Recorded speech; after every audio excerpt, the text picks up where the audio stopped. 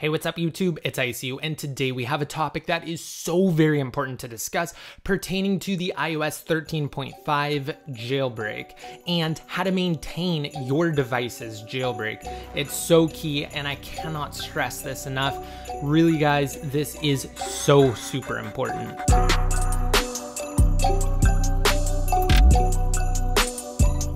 That brings us to iOS 13.5.1. I expect this to be released by Apple very, very soon, potentially even this week, with the sole change being to close the uncovered jailbreak for iOS 13.5. When that happens, you guys cannot update. I repeat, do not update no matter what. If you're not inside of your device's jailbroken state, there is a small chance that you could accidentally update it. And uh, just to ensure that you avoid that possibility, just go inside of the settings application, general, and then software update and make sure automatic updates is disabled, guys. That is so, so key because once Apple releases the patch for this jailbreak, they will stop signing iOS 13.5 and you'll be locked out of jailbreaking until a new jailbreak is released if you update from 13.5. And of course, the same thing does apply if you are waiting to jailbreak for the no computer method to once again be re signed.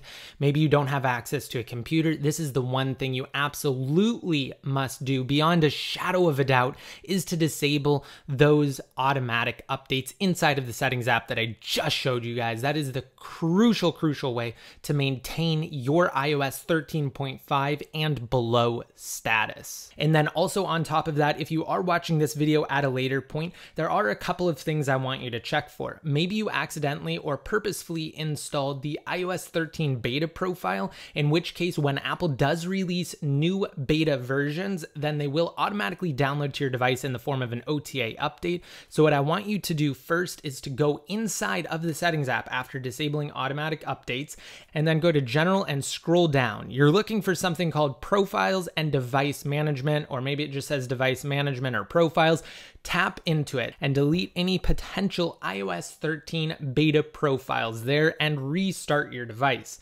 Next, after that, go inside of Settings, General, and then followed by iPhone storage or iPad storage if you have an iPad. And what you're looking for is any iOS OTA update. It will say something like iOS 13.5.1. Tap it and then delete it. Delete it in its entirety, and that way you will be good to go. And you might have to do this step more than once. iOS loves to download OTA updates in the background, even if you have automatic updates disabled. And really, that wraps up this video. I just wanted to get something out there that's dedicated for those of you who I know will inevitably update to iOS 13.5.1 and up, whether it is intentional or accidental. I want to try to spread the word as much as possible to simply avoid this. Just avoid it at all costs. And uh, then that way you will be able to jailbreak. So I hope this video helped at least one person out. If it did, be sure to hit that like button, share this video around so others see it, and uh, help me spread the word, guys. And until next time, this is ICU signing out.